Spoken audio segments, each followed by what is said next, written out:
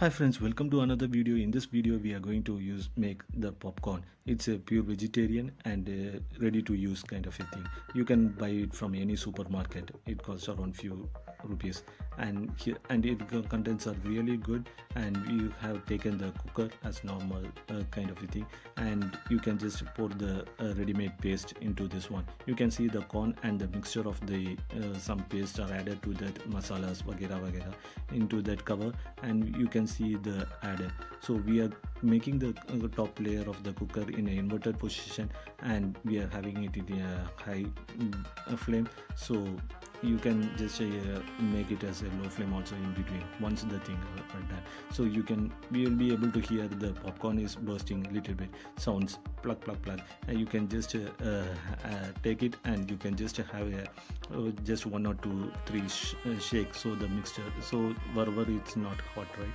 it will be blown out the things. So you can see some very tasty kind of a popcorns are easily made. So you can just put another uh, round also if you want to make it shaky if you don't feel that it's not completely not boiled out. So you can see the hot popcorn is made into a paste. And the taste of the popcorn is very good. It's not normal than the normally we buy from a outer uh, shop and all 20 rupees.